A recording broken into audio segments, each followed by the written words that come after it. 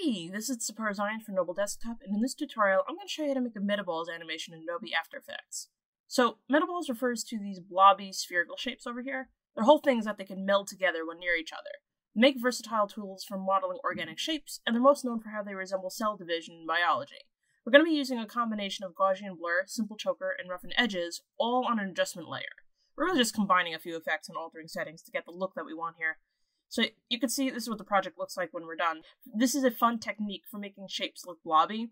It's useful for any animation that could use a more organic, melded together look.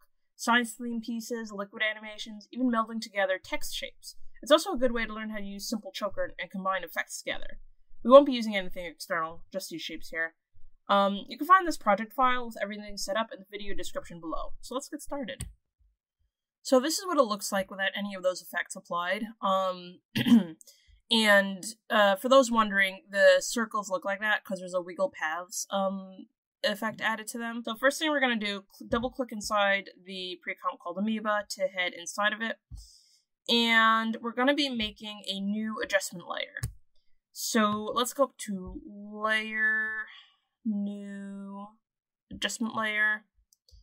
And it's automatically placed on top of all these layers, but that's that's good. You want it on top of all these layers.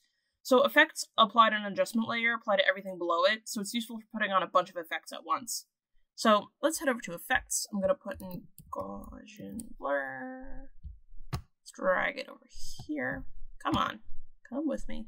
Thank you. Um, this is for blurring the objects, as you might figure out. So let's put blurriness at 50.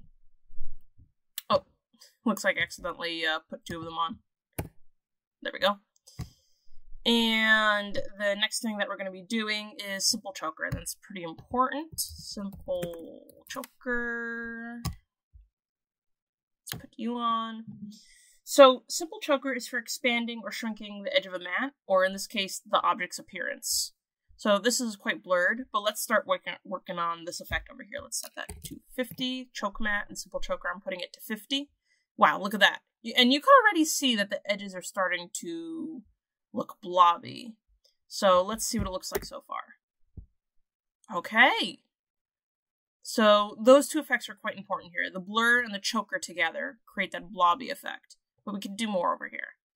So let's add another effect. We're going to put in roughen edges, and I know what you're thinking. It says roughen in the name. But there's a way to use this that actually smooths out your shapes.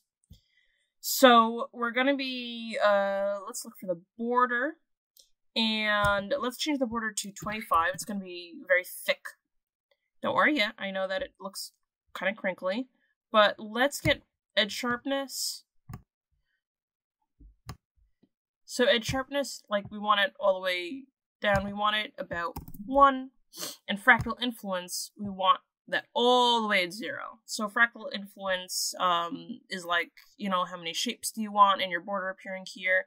And edge sharpness, we want it quite low, but not so low as to be uh, fuzzy. That's the other look we would get.